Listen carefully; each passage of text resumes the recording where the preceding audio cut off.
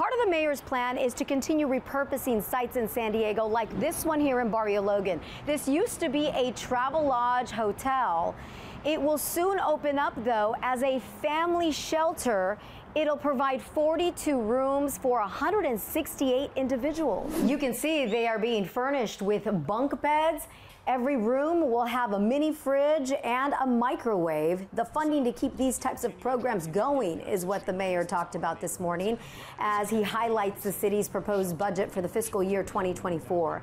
The mayor's proposed budget allocates a total of $78 million to homelessness services, including 24 to continue funding the shelters and 5 million to kickstart a new safe sleeping program for unhoused San Diegans currently living in tents. This includes the launch of the city's Safe Sleeping Program, which will provide safe, legal places for people to sleep in tents without blocking sidewalks.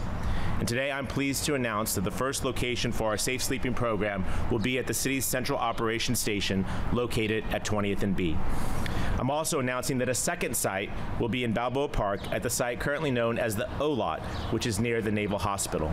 The city's Budget Review Committee will review this aspect of the budget on Tuesday at 9 a.m.